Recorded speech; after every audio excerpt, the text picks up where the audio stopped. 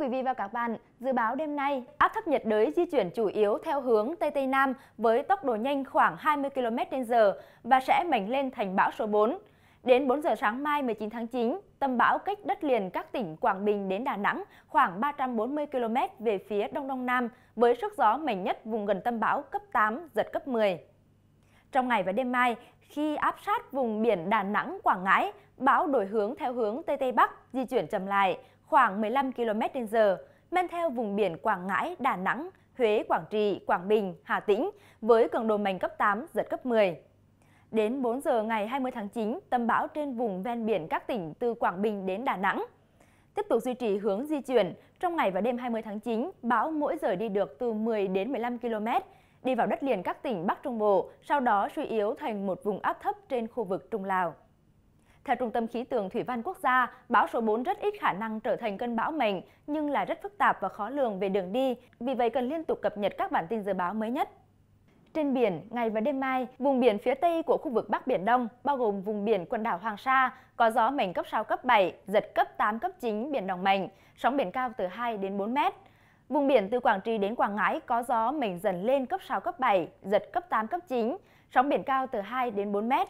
Vùng gần tâm bão đi qua cấp 8, cấp 9, giật cấp 10, biển động rất mạnh, độ cao sóng từ 3 đến 5,5 mét. Vịnh Bắc Bộ có gió Đông Bắc cấp 6, giật cấp 7, cấp 8, biển động. Vùng biển từ Khánh Hòa đến Cà Mau, khu vực giữa Biển Đông, vùng biển phía Bắc của khu vực Nam Biển Đông, bao gồm vùng biển quần đảo Trường Sa, có gió Tây Nam có khả năng giật cấp 8, cấp 9, biển động mạnh, sóng biển cao từ 3 đến 5 mét.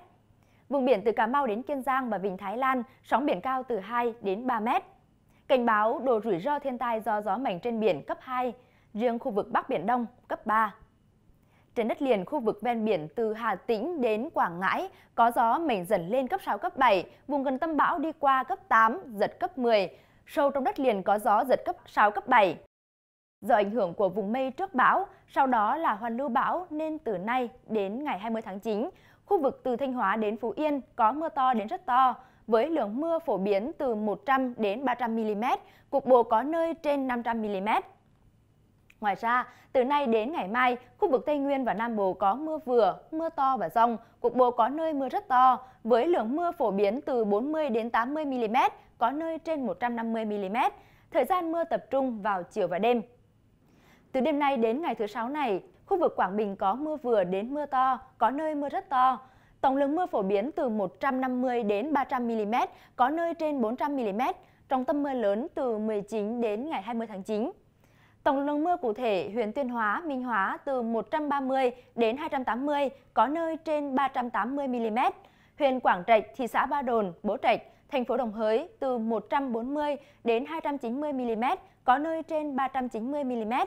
Huyện Quảng Ninh, Lệ Thủy từ 150 đến 300 mm, có nơi trên 400 mm.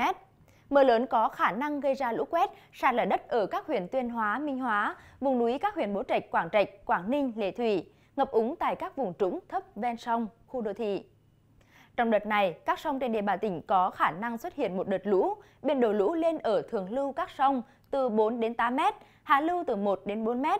Đợt lũ này, mực nước đỉnh lũ trên các sông có khả năng dao động ở mức dưới báo động 2 đến trên báo động 2, có sông lên mức báo động 3. Nguy cơ xảy ra lũ quét, sạt lở đất tại khu vực vùng núi và ngập úng cục bộ tại các vùng trũng thấp ven sông suối nhỏ. Từ gần sáng và ngày mai, vùng biển tỉnh Quảng Bình có gió mạnh dần lên cấp 6, cấp 7, vùng gần tâm bão mạnh cấp 8, giật cấp 10, biển động rất mạnh, sóng biển cao từ 2 đến 4 mét, vùng gần tâm bão từ 3 đến 5 mét, biển động mạnh. Nhiệt độ chi tiết các vùng trong tỉnh đêm nay và ngày mai sẽ khép lại bản tin này.